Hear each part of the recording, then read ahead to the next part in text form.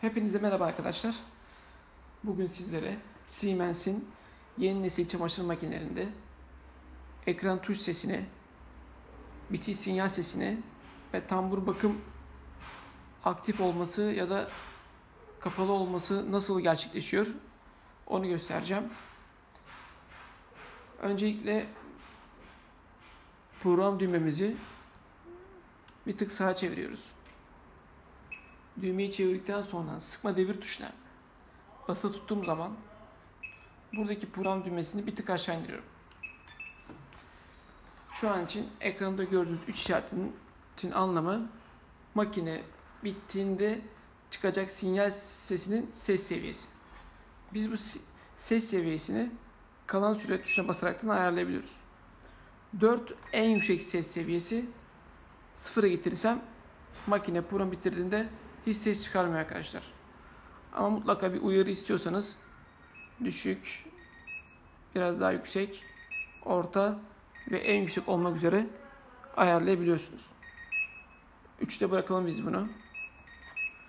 Bu düğmeyi bir kere daha sağa çevirirsem yine ekranda 3 yazıyor. Bu 3'ün anlamı da şu. Makine tuşlarına bastığımızda çıkan sesi seviyesi. Şu an için 3 bu. İstersem daha yüksek çıksın, daha net duymak istiyorum derseniz 4'e getirirsiniz. Hiç duymak istemiyorsanız 0'a getirirsiniz. Ya da az çıksın derseniz 1, 2, 3 şeklinde ayarlayabiliyorsunuz. Yine fabrika çıkış ayarı 3'tür. Şu an için yine bunu 3'te bıraktık.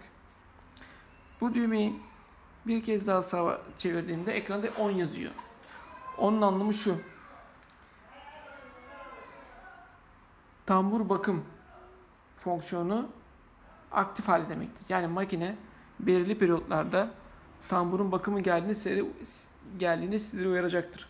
Fakat bu uyarıyı vermesini istemiyorsanız kalan süreye bastığım zaman ekranda off yazacaktır. Off yazdığı zaman size bu tambur temizleme uyarısını vermeyecek.